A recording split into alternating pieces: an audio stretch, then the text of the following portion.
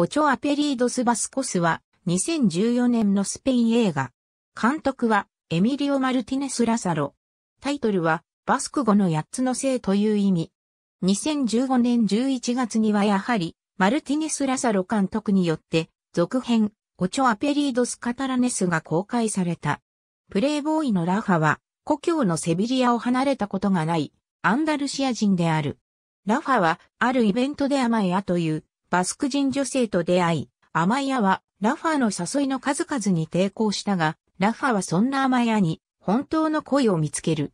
アマイアがラファーの家で過ごした夜、彼女は財布を忘れていく。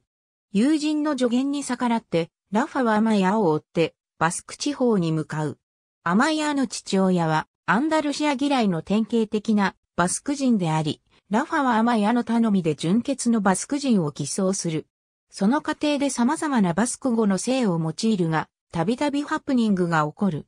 2014年3月14日に封切られると、その週末には40万4020人の観客を集め、272万ユーロの興行収益を記録した。翌週の週末には収益が56%増加し、封切り後10日間に440万ユーロを稼いだ。インポッシブル、アバターに次いで封切り後10日間の合計では、歴代3位の興行収益を記録した。4月までに650万人以上の観客を集め、スペインで最も多くの観客を集めた映画となった。また、4500万ユーロ以上の興行収益を記録し、アバターに次いで、スペインで2番目に多い興行収益を記録した映画となった。フィルマフィナティの平均点は6.5点。インターネットムービーデータベースの平均点は6.9点である。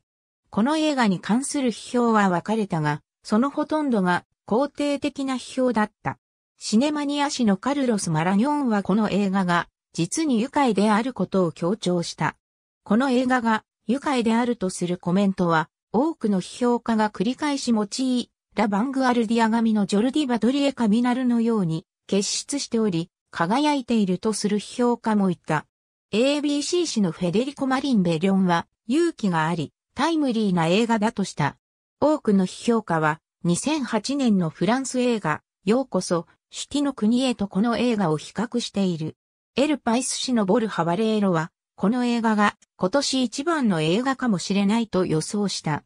また、外してキャストの演技は肯定的に批評されている。否定的な意見としては、エルムンド氏のルイス・マルティネスはこの映画を不快なコメディであるとし、エル・パイス氏のジョルディ・コスタは展開が不安定で、ひどく悪い終わり方だったと述べた。フォトグラマス氏のファウスト・フェルナンデスはこの映画が非人間的であるとし、展開が単調だと表現した。バスク人の甘いア役を演じたクララ・ラゴラファ役のダニ、ロビラと甘いア役のクララ・ラゴは2014年に交際を始めた。2015年の第29回、ゴヤ賞ではダニ、ロビラが新人男優賞を、から、エレハルデが助演男優賞を、カルメン町が助演女優賞を受賞した。その他には撮影賞と作曲賞にノミネートされていた。ありがとうございます。